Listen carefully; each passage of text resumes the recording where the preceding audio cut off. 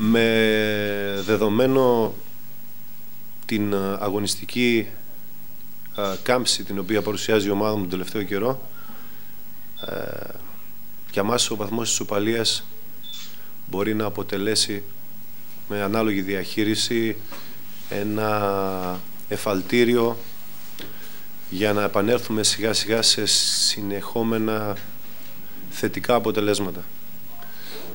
Ε, δυστυχώς το αγωνιστικό πλάνο το οποίο είχαμε και έτσι όπως σκεφτήκαμε το παιχνίδι ε, λειτουργήσε μέχρι το 25 όπου και οι δύο επιθετικοί μας είχαν δυνάμεις και μπορούσαν να κρατήσουν τόσο τα αμυντικά χάφ όσο και τα δύο στόπερ της Καλονής μακριά.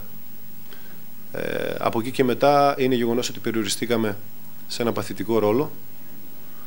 Δεν νομίζω ότι κινδυνεύσαμε ιδιαίτερα αφού και η Καλονή ως επιτοπλίστων επιχείρησε ε, κάποιες μεγάλες μπάλες και όχι τόσο οργανωμένες επιθέσεις ε, και σίγουρα μπορεί να πει κάποιος ότι θα μπορούσαμε να έχουμε δεχθεί κάποιο γκολ μέσα από αυτές τις προϋποθέσεις που είχε η Καλονία αλλά νομίζω ότι το παιχνίδι περισσότερο κρίθηκε σε αυτό που είπα πιο μπροστά δεν κρατήσαμε την μπάλα οι αποστάσεις μας ήταν πάρα πολύ μικρές και γι' αυτό είχε και ρόλο πρωταγωνιστή.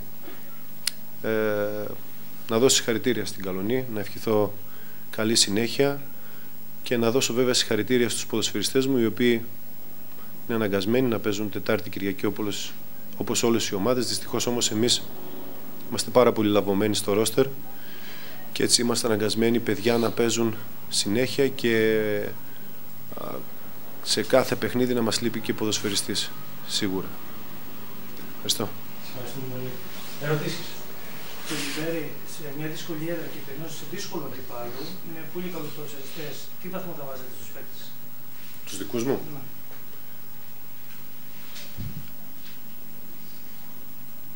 Να σα πω.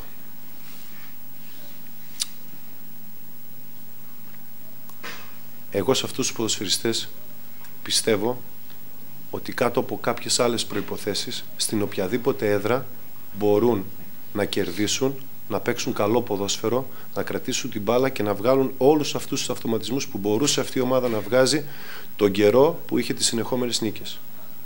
Αυτή τη στιγμή, με βάση αυτά τα δεδομένα, σίγουρα ο βαθμός που θα τους δώσω δεν θα είναι καλός, διότι δεν βγάζουμε επιθετικότητα, κομμάτι το οποίο μας λείπει πάρα πολύ, αλλά δεν μπορώ να παραγνωρίσω το γεγονός ότι κάνουν μια πολύ μεγάλη προσπάθεια όλοι τους.